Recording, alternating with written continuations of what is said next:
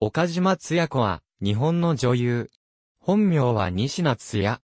サイレント映画時代のスター女優で、松竹キネマ、東和キネマ巻のプロダクションなどの作品に出演し、純情可憐な娘役で活躍した。戦後は主に東映の作品で早役として出演した。夫は映画監督の西名熊彦。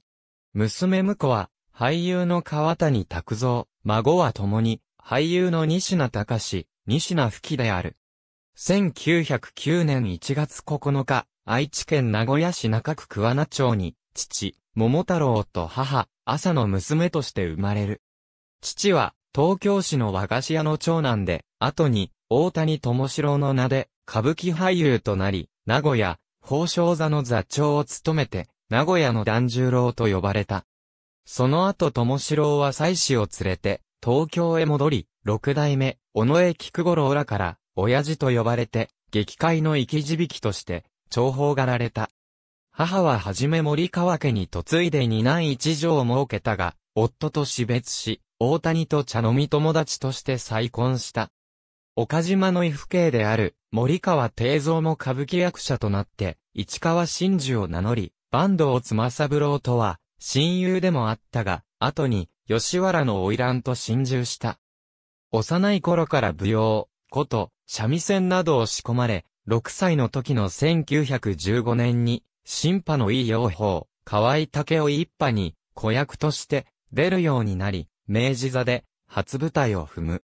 8歳の時には、井上正夫一座に入り、浅草三国、座、赤坂演技座、本郷座の連鎖劇に出演する一方、歌舞伎の小芝居にも子役で出演する。この間に対面小学校に入学している。1921年9月、満12歳で、松竹蒲田撮影所に入社。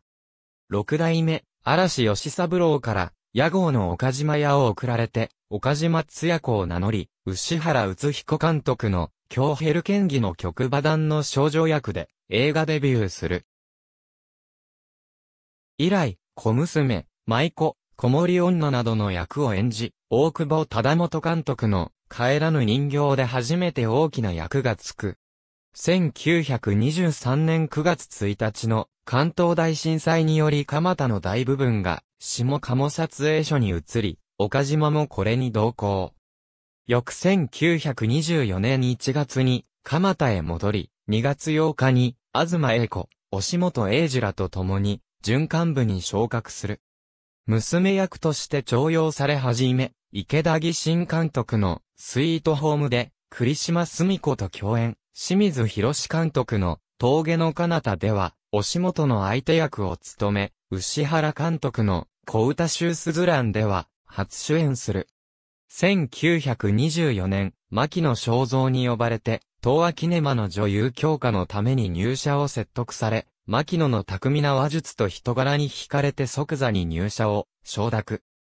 松竹に退社を申し出ると会社側は両親を責めて、引き止めにかかり、そのうちお返ししますからという両親の頼みで許され、11月に、東亜キネマ当人撮影所に入社する。1925年、過去残務監督の武士道が入社第一作となり、二川文太郎監督の破壊師がいびきをする頃では風変わりな少女の難しい役どころを演じて、10代のうちに、泉春子、森静子、牧野照子に次ぐ地位を確立していく。その後は、牧野プロダクション5室撮影所で、キラレの与三郎、黒髪夜叉、解決夜叉をなどに出演し、牧野監督の闇の森では仇討ちに出た夫の留守に、夫の友人と密通する妻という大胆な役を体当たりで演じた。三笹小歌のスチル写真。右は、秋田新一。1926年4月1日、牧野を退社して、東亜キネマに入社。同年10月2日には、松竹下鴨撮影所に加入し、松竹と提携して請負制作をしていた、絹笠映画連盟の作品に出演する。連盟の第一作、テルヒクモルヒではヒロインを演じ、稚語の憲法では、林長次郎の相手役に起用される。続いて、お嬢、吉蔵、乱軍でも、林と共演するが、1927年4月16日、千早明子が林の相手役として入社したことに、不服を夏き脱退。勝見陽太郎が、牧野の使いで、牧野復帰を進めに来たこともあり、即座に、牧野へ戻る。井上金太郎監督の、色な四谷階段、牧野監督の、中コンビ列実録中心蔵、牧野正宏監督の、浪人街、第一話美しき獲物などの時代劇出演し、吉野二郎監督の、夏の夜の歌以降は、現代劇が中心となる。1929年、牧野の映画監督の西名熊彦と、小笹正人の売借で結婚。1930年、この頃から、牧野は、経営不振に陥り、8月に、牧野を退社する。